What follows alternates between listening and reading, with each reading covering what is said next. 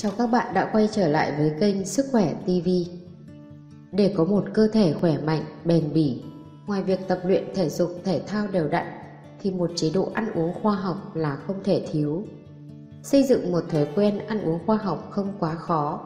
Tuy nhiên, bạn cần có sự kiên trì thực hiện và cũng rất đơn giản vì yếu tố thiết yếu là ăn nhiều thực phẩm có nguồn gốc thực vật như rau củ, trái cây, các loại đậu, hạt và hạn chế các thực phẩm chế biến chặn. Sau đây là 6 cách ăn uống khoa học đơn giản bạn hoàn toàn có thể thực hiện được. 1. Lựa chọn thực phẩm đa dạng. Thực phẩm rất đa dạng và mỗi loại chứa nhiều chất dinh dưỡng khác nhau, tốt cho sức khỏe con người.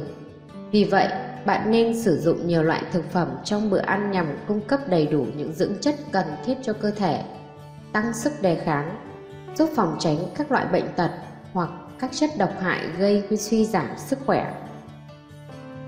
2. Chú ý đến khẩu phần ăn. Để có thể đưa ra một khẩu phần ăn phù hợp, bạn cần xem xét các yếu tố bao gồm trọng lượng cơ thể, chiều cao, các hoạt động tiêu tốn năng lượng trong ngày nhằm đưa ra một kết quả cụ thể chính xác. Kiểm soát khẩu phần ăn là điều rất quan trọng khi xây dựng chế độ ăn uống khoa học bạn có thể thoải mái ăn các loại rau, củ quả nhưng cần chú ý đến những thực phẩm chứa nhiều calo. Khi dùng thức ăn bên ngoài nên kiểm tra thành phần dinh dưỡng trên bao bì hoặc đánh giá hàm lượng calo nhằm biết được khẩu phần ăn có phù hợp với bạn chưa. 3. Không bỏ bữa, ăn đúng giờ. Số bữa ăn lý tưởng trong ngày là 3 bữa chính, có thể thêm 1 đến 2 bữa phụ nếu cơ thể bạn đòi hỏi. Các bữa ăn nên được chia theo khung giờ phù hợp với bản thân và duy trì thường xuyên nhất có thể, đảm bảo năng lượng cho hoạt động trong ngày đạt hiệu quả cao nhất. Nói không với những thói quen xấu làm cho cơ thể suy nhược như bỏ bữa, ăn không đúng giờ, ăn ít hoặc không ăn. 4. Ăn ngũ cốc nguyên hạt Ngũ cốc nguyên hạt như lúa mì, lúa mạch và yến mạch nên chiếm phần lớn trong lượng ngũ cốc bạn ăn. Khi chưa qua tinh chế, ngũ cốc nguyên hạt giữ lại được những thành phần thiết yếu bao gồm cám và mầm. Vì thế, chất dinh dưỡng và chất xơ không bị mất đi.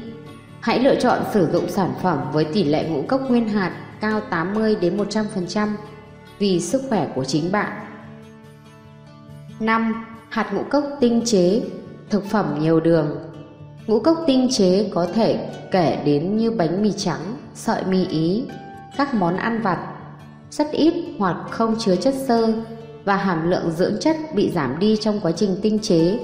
Chú ý hạn chế sử dụng những sản phẩm có chứa bột mì, đồng thời giảm tiêu thụ thực phẩm chứa đường như nước ngọt và kẹo.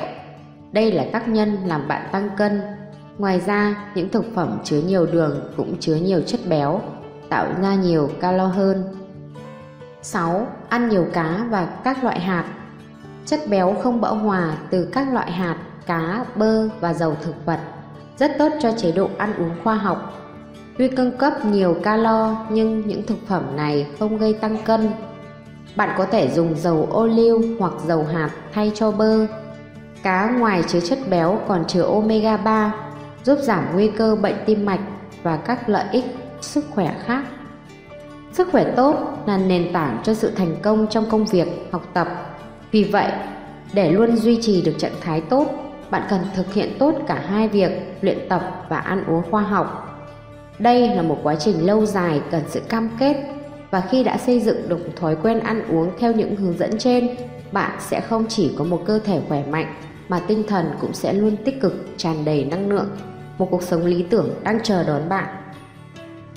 Chúc các bạn luôn sống vui khỏe. Đừng quên like, đăng ký và bật chuông thông báo để cùng cập nhật những thông tin bổ ích cùng Sức khỏe TV nhé các bạn.